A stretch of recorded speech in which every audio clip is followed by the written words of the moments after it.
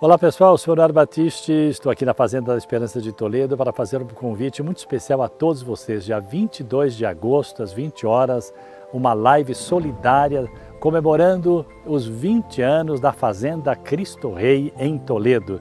Hoje com mais de 60 jovens, adultos, buscando um caminho novo. Precisamos da sua ajuda. Acompanhe, colabore, porque assim nós podemos continuar fazendo esse trabalho maravilhoso quer devolver a dignidade para as pessoas e essas pessoas formando uma sociedade cada vez mais justa e fraterna. Contamos com vocês.